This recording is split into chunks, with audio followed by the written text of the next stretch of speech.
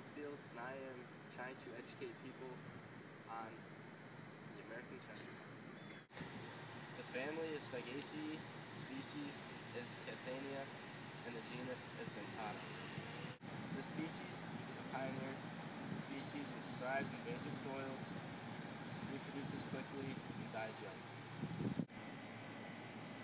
The twigs on this tree are glaucous or look like they have a waxy coating on them. The buds are golden brown and the leaves are serrate with bristle tips on the end of the lobes. This is the fruit that comes off the American chestnut.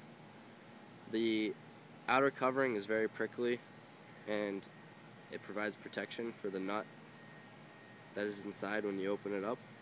And this is what the American chestnut nut looks like. This right here is the American chestnut blight, which kills the upper system of the tree but does not affect the root system, which allows the tree to continually sprout year after year. The benefits of the American chestnut are one, it's a good wildlife food source and cover as the tree sprouts, and it also provides hard, dense wood for vine woodworking.